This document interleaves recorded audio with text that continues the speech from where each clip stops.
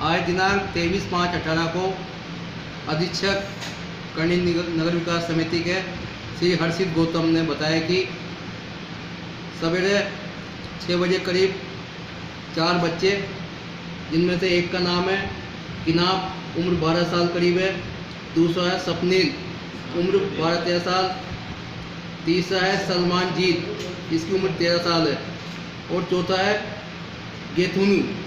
ये करनी विकास समिति से छः बजे से और रात को ग्यारह बारह बजे के बीच में कहीं बिना बताए चले गए जिस पर प्रकरण दर्ज हुआ है। चारों बच्चों की तलाश जारी है। नाम बताइए आपका। बाल किसान एस आई थाना गुमानपुरा